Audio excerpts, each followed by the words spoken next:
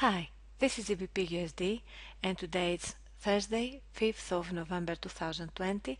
I'm Sofia Stavropoulou and this is a technical analysis study on the pair using Ichimoku Kinko Bollinger Bands, fractals and stochastics. On the monthly time frame we see that although the pair really wants to go up, it really wants to make an explosive upward move. For now, because the leading Kumo is not as thin as it should be yet, uh, the price can't escape above the upper Bollinger Band for now. It first has to make it thinner and then do the upward move. And there is a big obstacle uh, in uh, breaching the level of the double top candlestick pattern we see here, which we will see clearly, more clearly in a smaller time frame. And uh, regardless of this pattern here, which shows a very strong bullish reversal, bullish continuation poten potential, uh, the month is very young now and it's at its beginning so this candlestick, the current candlestick may turn into a spike with a very bearish body. So for now it looks more possible for the price to make a, a, downward move down to the level of the median Bollinger Band at first and then just above the Kijun-sen and Tenkan-sen plateaus on monthly. Uh, this move represents uh, a potential of 300 pips for the first level and a total of 570 plus pips for the second. And on weekly we see that the two levels that I placed on monthly uh, reflect the Kijun-sen plateau level on weekly and the top of the bearish Kumo which is a very strong support uh, zone for the price.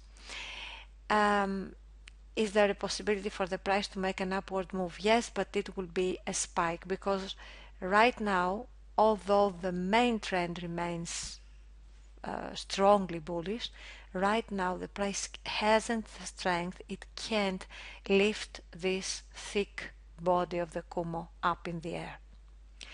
So uh, even if it makes an upward move, it would be a spike. There is a distance of 300 plus pips between the current price level and the edge of the upper Bollinger Band, um, but I suggest you ignore it. I suggest you ignore the upward move for now. Um,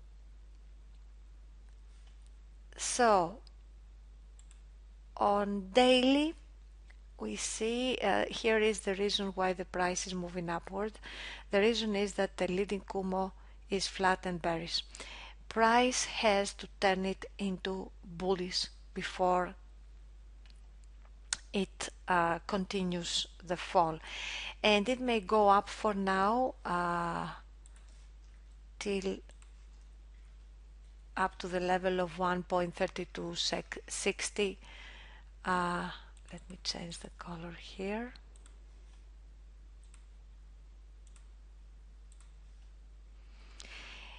It has to go up to that level first, um, negating the leading Kumo, turning it into flat and bullish, and then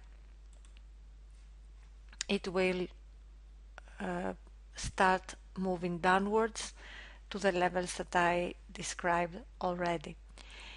Um, let's see the picture on H4. On H4, uh, we see that uh, there was a very big, very strong up spike. Uh, that's why, although the price is moving above bearish Kumo, and it may even lift the leading Kumo up in the air, I wouldn't recommend any long trade on the pair for now. On H1 there is a possibility for the price to continue higher because there is bearish Kumo below it but I suggest if you want to take a trade on the pair to take it with H1 as an entry time as the entry time frame but to take a bearish trade a short trade not a long one. So this is it for now. Thanks for watching and happy pips